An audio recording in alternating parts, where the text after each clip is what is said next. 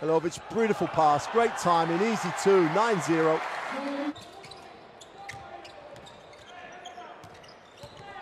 Which kicks it, Campara, feet set for three, just knocks another one down. Broken, Huff goes high-low. Coty, they get a piece of it.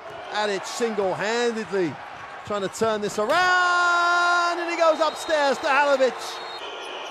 Crowd trying to help. Wilson breaks the defense down.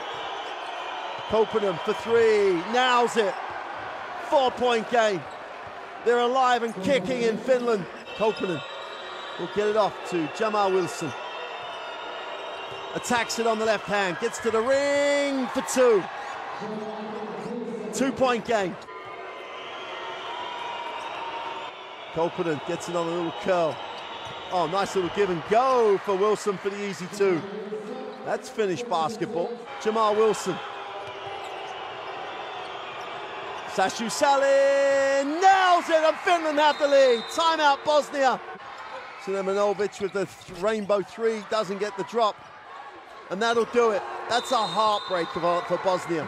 It's a heartbreaking loss for Bosnia. It's a phenomenal comeback win for Finland.